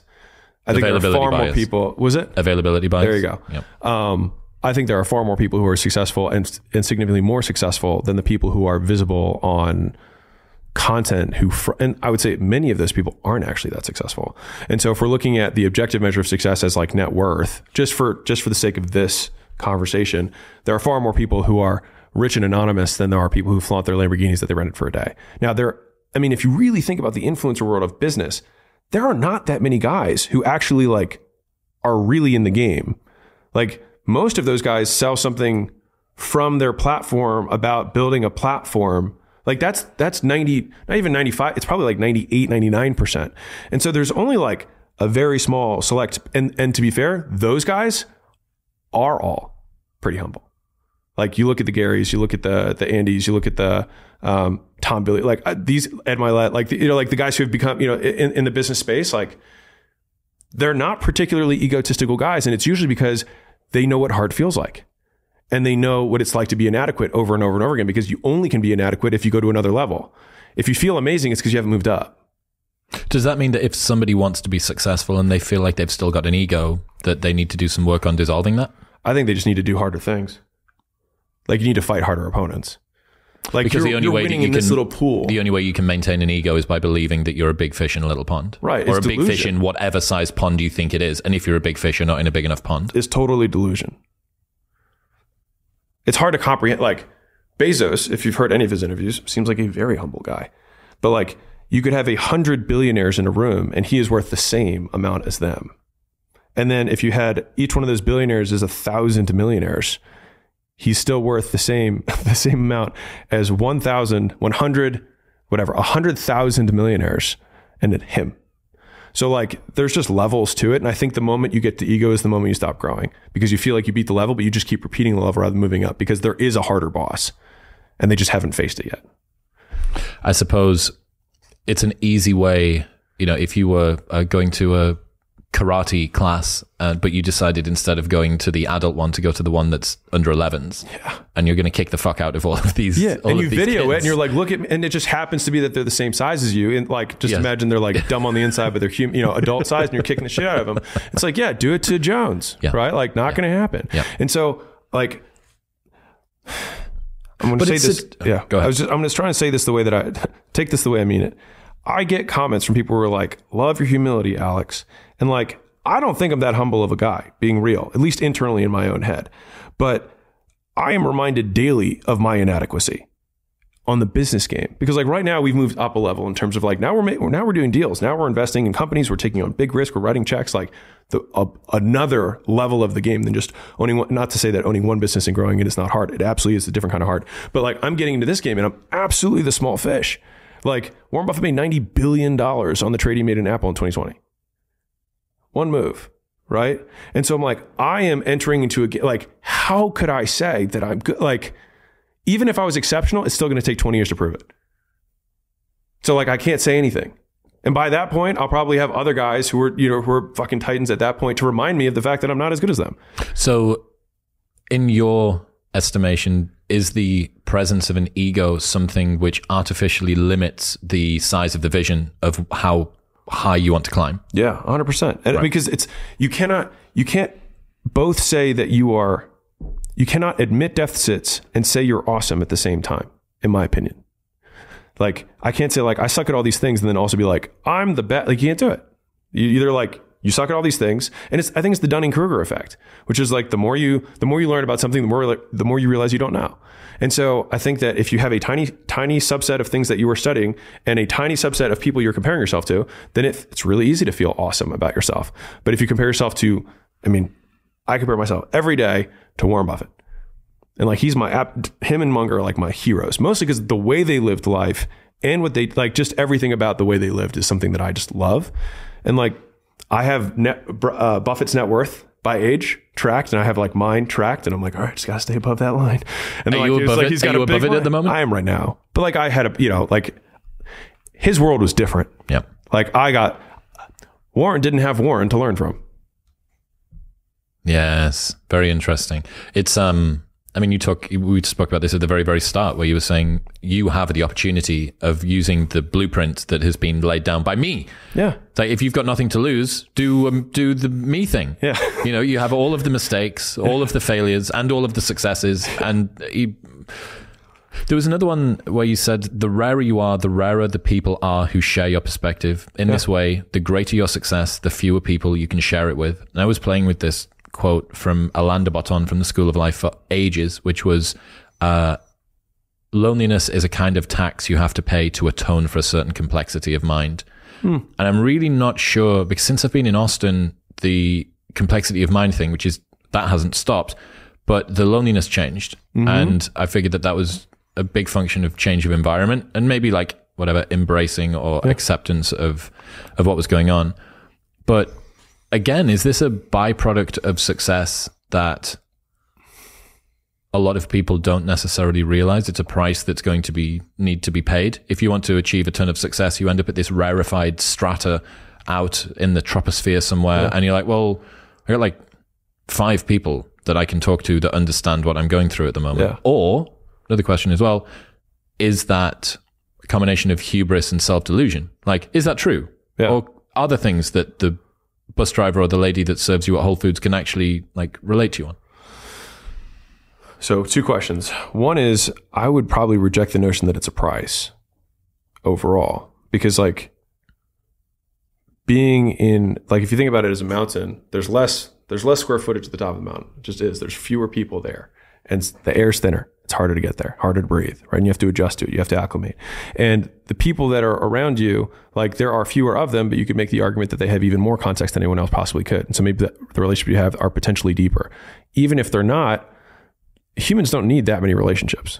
So like you just have a smaller pool to choose from, but like most people only have two or three good relationships in their life anyways. And so like you just have a narrower pool that you can make that selection from. And um, I mean, of the people that I have interacted with who are far above that, above me on the mountain, um, that's been their, that's what they've relayed to me. Um, but it's only bad if you think it's a cost. If you're okay with it, because there are plenty of people who are lonely right now and don't have shit. So and there's you know and you already know this but like the, there's difference between being lonely and solitude you know um, and one is seen as bad the other is seen as fine or good in, in some circles that's seen as self-care so like, um, uh, so to me it just means that like i think your tolerance or your standard for friends raises and i'll share this and hopefully it comes off the right way I entered communities as I was coming up and was like, wow, everyone here is bigger than me. And then I was able to, through achievement, rise through that. And then I lost context with that group. And so I think there's just more free agency a friendship that happens on your climb up because you're just moving between strata more frequently than it is that if I settled at one of these levels, then I would eventually find all the people at that rung. But if you're constantly on the move up the mountain, then more of that is in transitionary period on the on the climb. And it's only a problem if you'd hate it. I don't. What don't you hate? You don't hate the fact that sort of people come and go, that some of these yeah. relationships are kind of transient? Yeah. It just doesn't bother me. Because I think it's like a should statement, which is like one of my big things. Is like, why should I? Why does it have to be? Why must it? Doesn't must anything. It just is that way. And that's fine. Talking about social media, we mentioned this earlier on. What are your predictions for the next six months to a couple of years in terms of what you think is going to be big, uh, any focuses or any interesting trends that you're noticing at the moment? I will state first off that I'm not a social media expert by any stretch, but just, you know, I think AI is going to be the main driving force behind the future of social media. And I don't know how we're going to deal with it. Um, I mean, there's already the deep fakes of Rogan doing entire podcasts with Steve Jobs that are going out there, and the entire thing is both created and recorded with AI. And so I think it'll be really interesting because right now it's still not as good as the best creators, but in a few machine generations, it'll make the best content every time in seconds.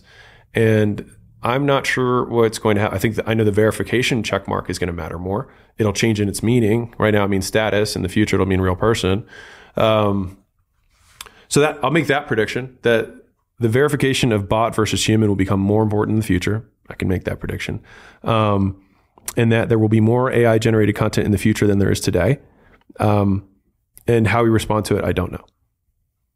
It's scary to think that what we basically had for the last five years or so since the algorithm started to get really tight is a three way feedback mechanism from algorithms designing better delivered content to users. Mm-hmm. It also nudges the user's preferences so that they are easier and more predictable to predict. That was that two way street was something I learned from Stuart Russell and it's fucking amazing.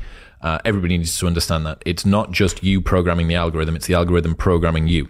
And it's one of the reasons that it explains increasing division and extremity. Hmm. Because yeah. if you are far right or far left or super whatever yeah. or super the other thing, it makes you way easier to predict. And that's a byproduct of any algorithmic optimizing function. And then the third element of that is audience capture by the creators because they are the third element of the creation of the content, right? That they go, how, how, how well did that perform? Uh, oh, we'll, we'll red meat that a little bit more and a little bit more and a little bit more. And then you end up on your knees like cooking for the audience, right? Yeah. The fourth element of this is going to be then you are able to algorithmically create content that understands the back end of the algorithm, that can nudge preferences and can get feedback and all of that. I mean, that to me is fuck me. If we think that, you know, like the degree of overbearingness that social has on our lives at the moment, like that's a very, very big deal. Well, it could cut out the middleman, the creator being the middleman, and then it just becomes a vertically integrated platform that creates content on its own using AI and just feeds it directly to the audience. That's what I said. As soon as those uh, the AI images of hot girls came out, and then ChatGPT, you go, look, like OnlyFans, you're no longer an agency, you're now a tech company. That should be the move that you make. Every single person should have their own curated wifey girlfriend online, and that's that's what you th- that's your thing. Like, and it would be infinitely scalable. You know, like Yeah. the perfect dirty talk, completely curated and twiddled to your specific Yeah. whatever it is. Uh, but that doesn't bode particularly well for how much limbic hijack and freedom people have from social media because it is only going to become more and more compelling, which isn't necessarily a good thing.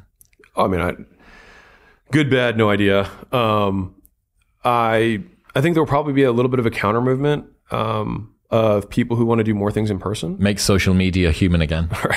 Well, you know, an interesting thought experiment that I had, I was like, because we've we've taken some things, and I, I do think AI is going to happen, but like as in it will continue. Um, but I was like, we accept all technology as inevitable. And I was thinking about this, and I was like, has there ever been a technology that humans have created that we were like, nah, we shouldn't do this? And I thought about it. I was like, there is one: nuclear bombs. We all were like, I think it's better if we don't. We should just not do this. And everyone just like agreed. We're like, we're not going to do this. And I, I think the the rate of AI, how disaggregated it is, like will prevent that from happening. But I just thought about that as like it just there hasn't been any other technological thing that I've seen besides nuclear bombs that we all together were like, this isn't good for us. Have you seen how ge- tabletop genetic sequencing machines work? No. this is a really good example of what you're talking about. So the way that uh, pretty much all of them are cloud based and in order to sequence whatever it is that you're looking to sequence it sends the the request up to the cloud. And there's three gradings. There's green amber and red. And if it's green you can just do it. No one checks. If there's amber you have to submit a proposal for what it is where it's going bsl level etc security security. And if it's red you just can't do it. And then presumably someone comes around and goes excuse me what the fuck are you doing trying to make smallpox? Yeah. um, but that uh, there's been, I think it's th- either two or three times in the history of gene sequencing there has been a, a moratorium placed globally on this. Everyone's gone. Every fucking machine goes off. Everything stop until we work out what's going on. So there are situations. That's a great example. Like cloning. As you just Yeah. said, as soon as you start to atomize that and disaggregate it and distribute it between enough different actors, Yeah. how are you going to be able to control you know and, and the, the other thing is with genetic sequencing the, the kind of machines that you need the hardware is complex. Yeah. It's expensive and it's rare. Yeah. the hardware is not complex for anybody can code. And the reward is everything. It's the world. It's the world. It's it's it's domination it's money it's success it's all of those things. This is why i don't know man like the fucking the techno optimist thing ever since i read superintelligence by nick bostrom five or six years ago i just don't see an agi future where stuff doesn't get fucked uh, I don't know would, whether we get the general bit of AGI, super AGI is like still up for a big bu- part of debate.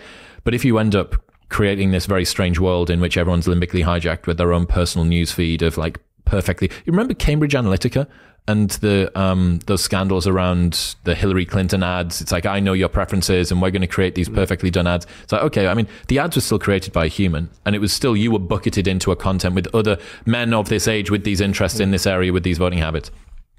Imagine if every single news feed, not just post, news feed was perfectly curated to maximize time on it site. says, "Hey Chris." Like that's the first line of every ad. yeah. Crazy. Yeah, Wow. yeah. But it might just be the same as email. The first time there was personalized email, all of a sudden you you stop becoming responsive to your own name. Mm. So like I think they'll, I think they'll, they'll, they'll be push pull um, on that stuff. But uh, I'm with you on the AGI long term. You know, as a, as a as a weird thought experiment, if you think about what God looks like in terms of most most definitions, they're like an omniscient, omnipotent being, and I think we're just creating that. Like, what does AI know? It knows everything, right? What can it do? Everything immediately. Like, weird. Usually, God would be benevolent. Yes. Rolling the benevolence in there Yeah, yeah. might be good if we yeah. could. It's long. God's long term benevolent. Ah, but short term sometimes mean. Yeah, you are well, true. There's definitely wrath Yeah. in almost all faiths. What are you working on now? What can people expect from you next? Uh, hundred dollar leads, one hundred million dollar leads, uh, which is the second book in the hundred million dollar series, um, is going to come out this year. Uh, so that's exciting. Uh, we will we will be done the the edited final draft uh, within seven days. So I'm like, it's been uh, we put in thirty five hundred hours um, together, my editor and I, um, combined over the last two years doing it. So it is the first four to six hours of my day every day. Like before I came here, I was editing the book, and that's what I did yesterday, and that's what I did before. Um, so that it could be really, really good. And so that's that's the that's the big creative side of me is the is the book. It'll be ninety nine cents. There you go. I get thirty three of that, by the way. Um, yes. Yeah, right. I'm get rich. Um, and then the rest of uh, my life is all about deals. It's just uh, we've got some really interesting companies that we're investing in. Um, very, very pumped on that side. Um, so yeah, if you've got a one to ten million dollar EBITDA business uh, and you would like a growth partner, go to acquisition.com. You can let us know. Dude, I really appreciate you. I really, really enjoyed this today. It's been cool to come and see. Dude, thank you for having me. Appreciate it. Hopefully the audience got what they wanted. What's happening, people? Thank you very much for tuning in. If you enjoyed that episode, then press here for a selection of the best clips from the podcast over the last few weeks. And don't forget to subscribe. Peace.